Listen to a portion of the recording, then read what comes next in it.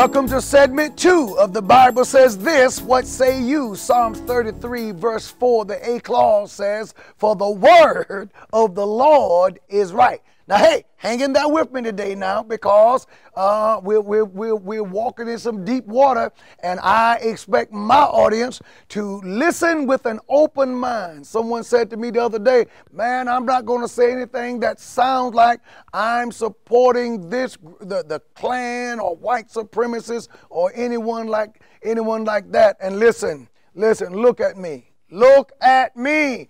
Tune in. Zero. Listen, give, give them a close up. Give them a close up. Zoom in. Do I look like a man who would support white supremacists? I am a black man proud to be an African American, proud to be an American. My mom is African American, my dad's African American. I'm black born, black bred, and when I die, I'll be black man. So you know that I do not support any form of white supremacy. Supremacy. Uh, I don't. I do not support white supremacists. I do not support Nazis. I do not support the Klan. As a matter of fact, these are wicked organizations filled with backwards, wicked folk who are on the losing side of history. And let me tell you something. Don't you let the media whip you up in a hysteria where you are so afraid and you're looking over your shoulder because the Klan's getting ready to come after you at any time. According to the Southern Poverty Law Center, the Klan's uh, numbers are, are estimated today to be around 4,000. I've heard someone give an estimation of 6,000.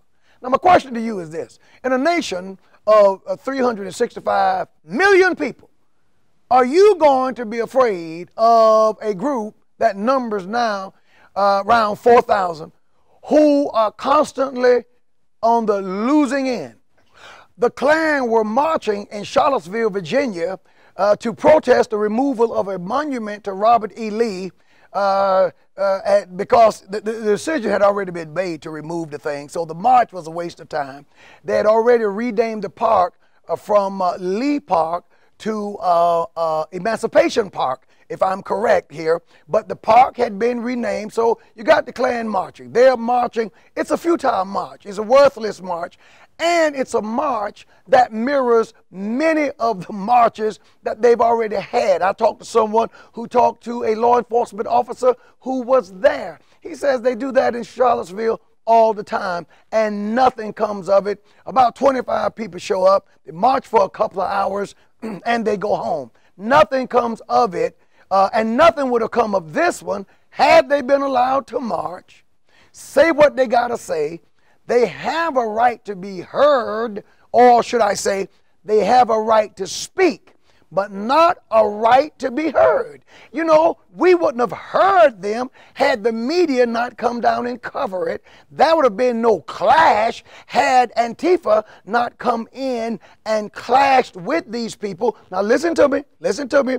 The ACLU, who is no friend of the right, no friend of any Christian preacher, the ACLU was there and they said they couldn't tell who threw the first punch. I do know this. I do know this, and I will say this depending on, and I'm depending on your intelligence to hear what I'm saying and not hear what I'm, and not make up something. You know, when you say stuff like that, you're saying that the Klan is okay. I, I, I count on you to be able to listen better than that. In Charlottesville, Virginia, the only group who had a permit that they have a copy of it to march was the white supremacists. the, the, white supremacists had uh, got a legal permit, march time from 9 a.m. to 7 p.m. Uh, it gave the, the, the, the, location and all, it gave the, the location when you can march and all that kind of stuff, okay? Once people get a legal permit to march or to demonstrate, they're told where they can go, where they can't go, and how long they can, can do it. I know because I participate in demonstrations all the time. Now, I don't march for white supremacy. I march, I demonstrate for unborn lives, unborn babies. Unborn little girls, unborn little boys, black boys, white boys, black girls, white girls, Asian, Hispanic. But by and large, nobody is aborting their children like uh, uh, we are. And, and saints, we got to fight it. We got to fight this. And preachers, you got to preach against it. And, and, and media, where are you? 18, 1,876 babies on average, uh, just black alone, will be aborted today while we're doing this shoot. Today, by the end of the day, and over 4,000 thereabout uh, uh, across this country of all colors will be aborted. And where's the coverage? Where's the outcry? I guess I guess unborn babes uh, babies don't matter. I hate that the young lady uh, lost her life in Charlottesville. I really hate it for those officers who lost their lives. But they were three people, and that same day, at least 1,876 black babies were lives were snuffed out, and 4,000 American unborn babies lives were snuffed out, and there's not a peep from the media. But the point, let's let's get back on point Let's get back on point. So uh, there they were. There's this march, and the media covers the story. The Klan was there. Now, our First Amendment rights, because I believe, I believe that this thing is about more than Robert E. Lee, monuments, and we can discuss that at another time as to whether or not they should be uh, destroyed or removed. I personally believe that uh, anything that reflects our past uh, should be uh, maintained. Now, whether or not it should be, th- these monuments should be where they are, that's a different discussion. But I don't believe that they should be vandalized or pulled down because I'm so proud of the monuments that are dedicated to the great the late, great Reverend Dr. Martin Luther King Jr. Every time I see a monument to him, it makes me feel good. What an awesome man he, uh, he was, and what a mighty thing he, he, uh, uh, he did, and he accomplished, and he led us, and he was good for African Americans. He was good for Americans. He's been good for America. But now, if you go to D.C., just so, you know, I get into weeds real quick. Go to D.C. and you look at his monument. If you if you look at all of the quotes, you would never know that he was a preacher. You never know he was a gospel uh, minister, a Baptist minister. You would never know that he read the Bible because there's not one quote from the scriptures uh, uh, up there unless they put one up there yesterday. They are trying to secularize uh, Reverend Martin Luther King. Uh, they're trying to remove him from Christianity. And that is what I believe is going on with all of this. For those who, who say we shouldn't let the Klan speak, the First Amendment protects all of, our, all of us. The, the First Amendment was not put in place to protect speech that everybody likes. It was put in place to, uh, to protect repugnant speech because to someone all of our speeches to somebody is repugnant. Someone is offended by what we have to say. Now, today, the spotlight's on the Klan. Tomorrow, it may be the LGBTQ and whatever other uh, letter comes behind that against a Christian minister. Because there are people who want to treat the Bible, or at least portions of the Bible, as though it is hate speech. So today it's the Klan. Hey, preacher, tomorrow it may be you.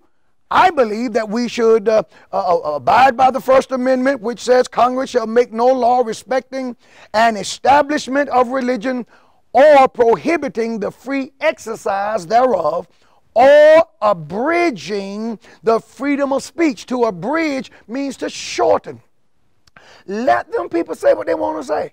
Just don't go down there and listen to them. They came to Raleigh one year, and oh my, I wanted to go down and chop it up and mix it up and stand on the side and scream to those uh, wicked white supremacists. And the prevailing black thought then, which I'm glad I listened, it was just wisdom, was don't go down there. Why would you honor those people with your time and your attention? Let them march, let them protest, but let them protest to fire hydrants empty streets, uh, empty parking lots, uh, concrete walls. They will say all, they will spew their garbage. They will say what they have to say. Nobody will listen to them, and they will accomplish nothing. I'm so glad that I didn't go down there. They did just that. They got minimal to zero media attention, a flash on the screen. Uh, there was no loss of life. Nothing happened. Nothing came of it. They didn't gain any power. Their numbers are still dropping until, until you get the, the media now going there and and picking sides and so uh, oh my so the, the, the battle breaks out so i'm here i am here i am depending on the intelligence of my listeners to know that i am by no means whatsoever whoo i get exhausted trying to say this defending the Klan. But i do defend free speech because there are people who don't like what i have to say and today it's them. Tomorrow, preacher, it's you, it's me. Oh, Reverend, that can't happen. It has already happened. In, in, in our neighbors to the north, in Canada, it's against the law to preach against homosexuality. In the UK, you can't preach against homosexuality. In some of these countries, they send government officials into the churches, pretending to be mem- members, listening to the preacher, hoping he will say something against perversion of all things. A lifestyle that is so repugnant to human existence that if everyone practiced it, it would mean the extension of the human race in less than 75 to 100 years. It's a lifestyle that God says is wrong, that the Bible calls abominable, and it destroys destroys all who practice it. It is wrong. And do you know what? There are people who would take what I just said and call that hate speech. And if they had their way, they would they would uh, uh, uh, come against my right, my constitutional right to say what I just said. I have a constitutional right to say it. They don't have to come and hear it. Right? Right? So today they're coming after the Klan. Tomorrow they may be coming after you. They may be coming after me. We saw some people the other day decide that they would have an impromptu gathering and they were going to march. And they said, We're not going to let the Klan march in our streets. The Klan is the worst as far as I'm concerned. But let me tell you something. If people get a legal permit just don't go down there. The whole point of a protest, the whole point of a protest is to garner attention. That's it.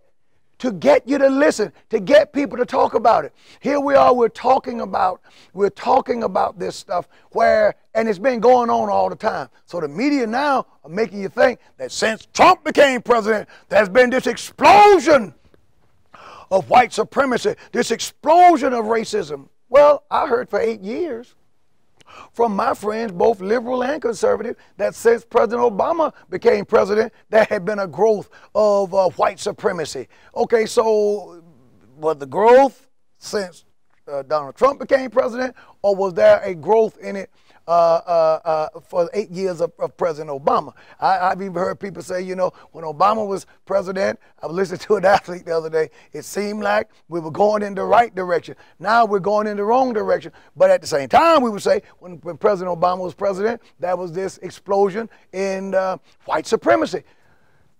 Racism will always be and has always been a part of this nation and a part of this world. America did not create slavery. America predates slavery. Read the Bible. You see where the children of Israel were enslaved for 400 years. They weren't enslaved to white people, they were enslaved to the Egyptians.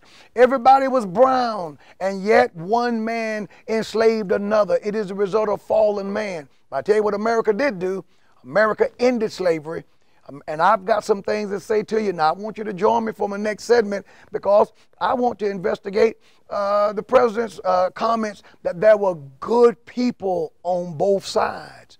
Was he saying there were good Nazis and good white supremacists?